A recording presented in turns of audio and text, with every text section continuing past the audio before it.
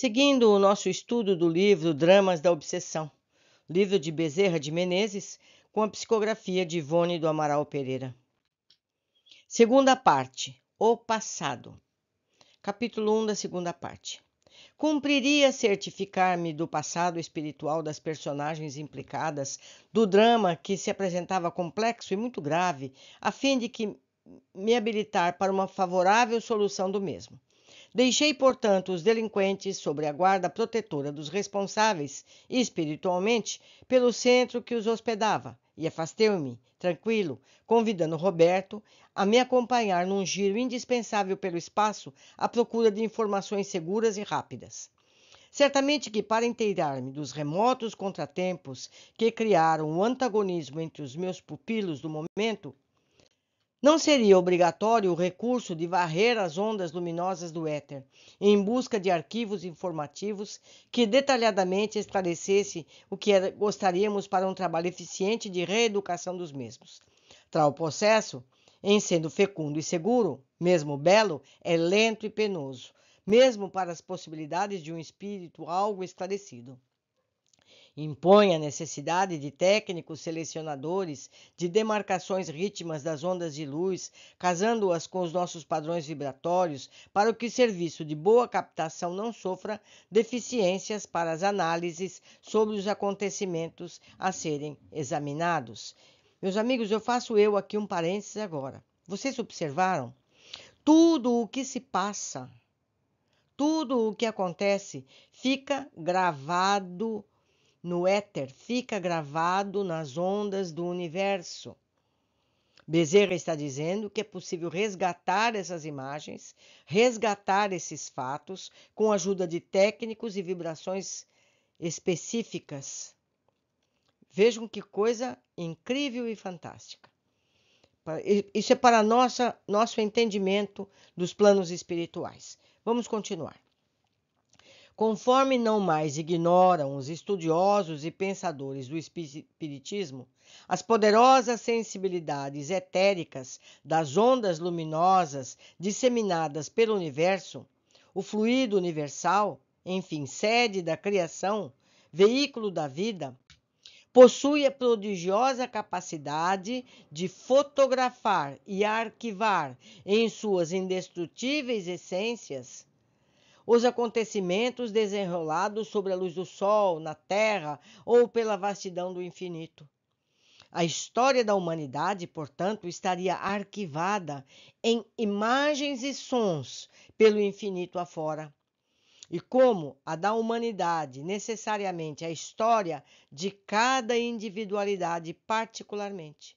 Rever, portanto, o que se passou, rebuscando imagens e cenas fotografadas nas ambiências etéricas não será para um espírito trabalhador tarefa muito rara, embora penosa. Comumente, esses espíritos o realizam para estudos científicos e filosóficos, lições profundas e muito eruditas para as almas fortes que se dedicam a cursos elevados na vida espiritual, para análises magníficas que somente o mundo invisível interessam, por enquanto.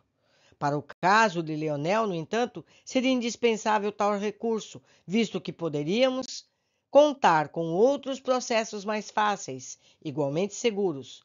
Poderíamos, por exemplo, extrair dos arquivos mentais do próprio Leonel, em operação psíquica melindrosa, ao seu passado reencarnatório, particularizando episódios em que se visse em relações com aqueles que, no momento, eram os seus obsessores.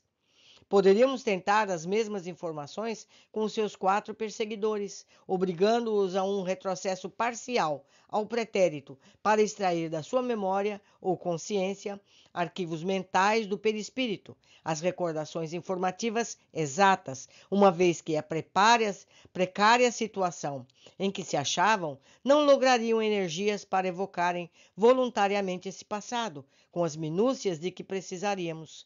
Repugnava-nos, portanto, todavia, torturar tanto, tanto a todos eles, pois forçá-lo-emos ao amargor de retrocesso da memória. Seria excitar-lhes o sofrimento, aguçando-lhes as raivas, abalando-lhes as faculdades carentes de bálsamos e consolações. Restava-nos, porém, o formoso espírito de Esther, que nos procurava naquela mesma emergência, dispondo-se a auxiliar os trabalhos com valioso concurso em torno dos seus entes amados e prontificando-se a tudo o que dela exigíssemos.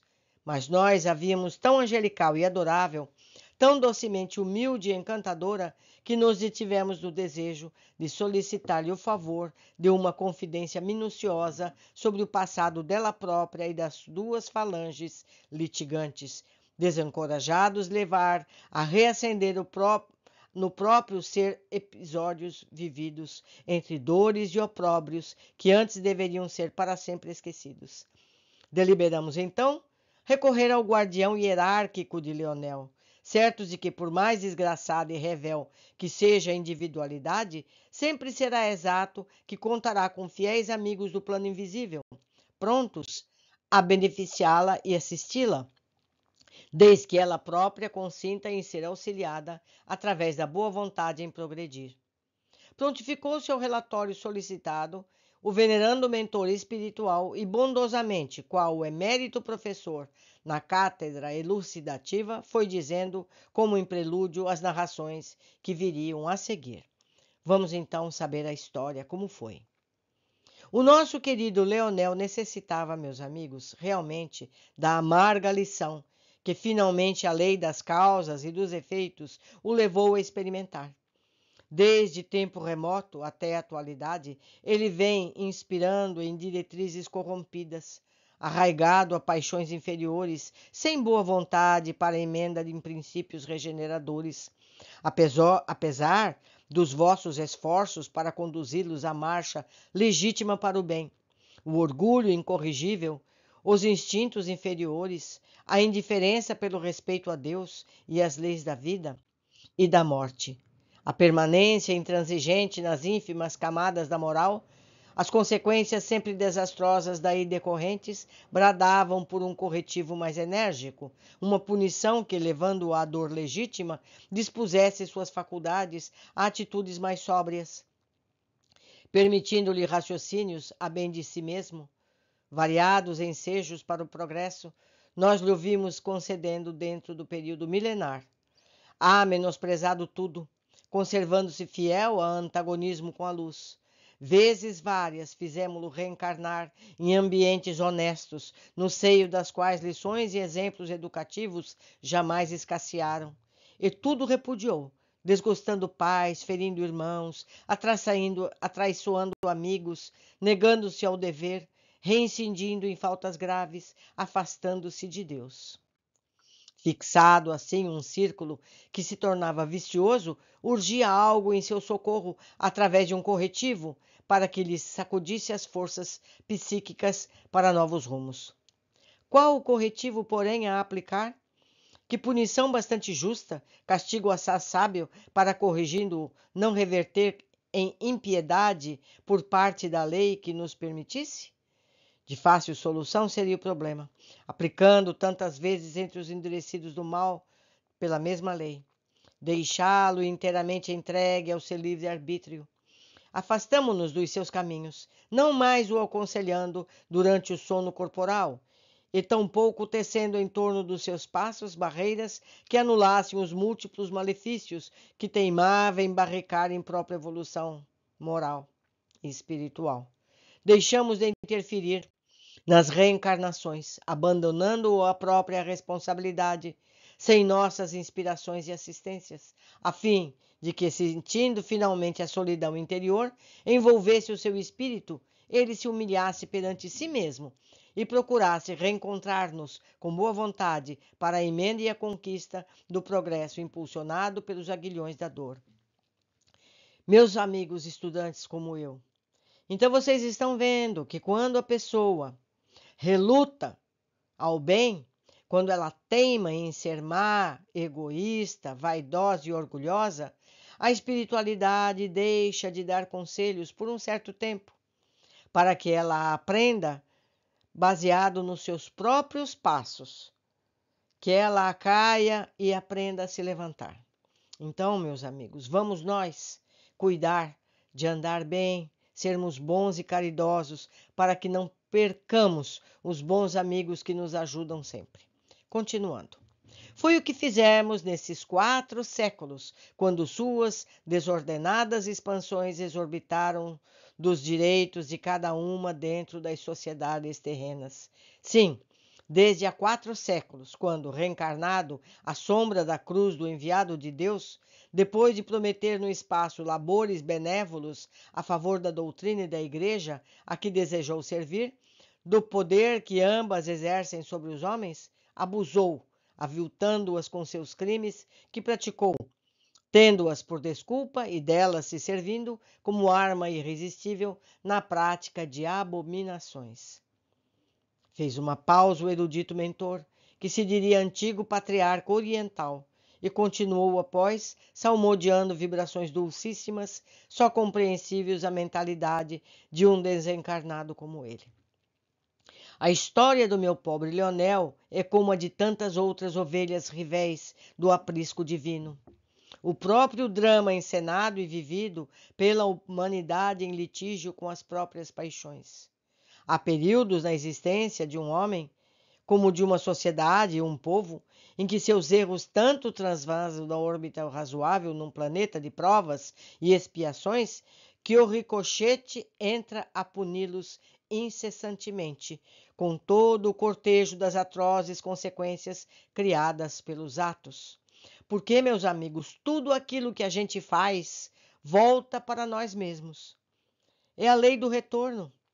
Se você planta o bem, se você pratica o bem, nós vamos receber o bem. Mas se nós praticamos o mal, nós vamos ter que colher esse mal. Não, é, não se trata nem mesmo de um castigo. É, é, a, é a semeadura e a colheita, não é? É a gente é que provoca os nossos problemas. Continuando. É quando estão entregues a si mesmos, agindo inteiramente em liberdade, sem nossa intervenção em nenhum ato de suas vidas, diante de tal punição, ou viverem entregues a si mesmos, não resistirão por muito tempo aos convites da emenda. Seus excessos atrairão situações de tal forma anormais, desequilíbrios tão pungentes na marcha irrefreável das existências, que outro recurso não encontrarão a fim de remediá-los, senão a submissão às equitativas leis da razão e da justiça. O que quer dizer que buscarão voluntariamente o caminho do dever, do qual jamais haviam cogitado. A história messiânica do filho pródigo não poderia ser melhor imaginada para retratar a marcha da humanidade do que foi por nosso Mestre Jesus Nazareno. Vocês lembram, né? O filho pródigo que pediu tolerância e saiu pelo mundo fazendo besteiras? É isso que acontece com todos nós que teimamos em não fazer o bem. Continuando. Eis, pois, o corretivo supremo da lei abandonar os rebeldes e endurecidos a si mesmos, não os assistir sequer com inspiração, quer no estado terreno, quer no espiritual, tal como o pai de família que deixou partir o filho mais novo, certo de que as duras experiências consequentes das próprias reflexões bem cedo levariam à emenda dos costumes, à regeneração definitiva. Deteve-se novamente o nosso ilustre interlocutor. Compreendemos que reunia recordações, revolvendo arquivos mentais para nos confiar particularidades de um drama de sacrossantos deveres de assistência ao próximo, nos autorizava a conhecer. Mas, passados alguns instantes, elevou novamente o seu diapasão mental, que entendíamos por fraseado escorreito, e prosseguiu. Fui judeu nos tempos do amorável mártir de Jerusalém recebendo então de suas próprias palavras e exemplificações a luz dos ensinamentos eternos, e também obtendo a honra de morrer sacrificado pelo amor da sua doutrina. Pouco depois da sua retirada dos planos terrestres, apaixonado por seus ensinamentos, como espírito, impus-me o dever de auxiliar antigos compatriotas meus à conversão ao vero cristianismo. Tarefa árdua que me há extraído lágrimas e muitas amarguras do coração. Não sou, portanto, senão pequeno mentor de falange litigante que acabais de conhecer, isto é, Leonel e a família, falange da qual me afastei temporariamente por ordens superiores, dada a rebeldia com que se conduziam, mas dos quais me aproximarei, desde que demonstrado seja o desejo do progresso e da reconciliação com o bem. Os sombrios acontecimentos que se desenrolaram num período de quatro séculos em reações contínuas entre o espaço e a terra e que tiveram como personagens as duas famílias que conheceis se originaram nos seguintes feitos de uma e de outra. E então o patriarca iniciou a narrativa, enquanto eu e Roberto, prestos às suas vibrações mentais, entrávamos em seus pensamentos, assistindo destarte os episódios com tanta precisão e clareza, como se comparsas também fôssemos das cenas evocadas. Mas para que o leitor seja permitido mais facilmente investigar minudências da moral dos fatos em apreço, Descreveremos aos que, estão, que então assistimos com redação nossa, esforçando-nos em esclarecimentos que induzam as análises idênticas em numerosos dramas terrenos que diariamente surpreendem a sociedade. Então, meus amigos, nós vamos saber nos capítulos próximos o que aconteceu com essas famílias. A família dos judeus e a família dos inquisidores que, se, que mutuamente se feriram por 400 anos. Por enquanto ficamos por aqui. Aguardo todos nos capítulos seguintes.